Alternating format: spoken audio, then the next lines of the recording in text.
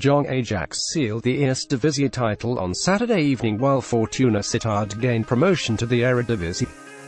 Jong Ajax went into the game with MVV Maastricht one point ahead of Fortuna Sittard at the top. MVV took the lead in the second half through ANW Akali penalty, but goals from Kaj Sierhuis. Teo Cassierra turned the game around and sealed the title for Michael Reiziger's side. It is the first time a youth team has lifted the Eerste Divisie. However, Jong Ajax can't be promoted which meant the automatic place in the Eredivisie went to Fortuna Sittard who beat Jong PSV 1-0 thanks to a Finn Stokkers' goal.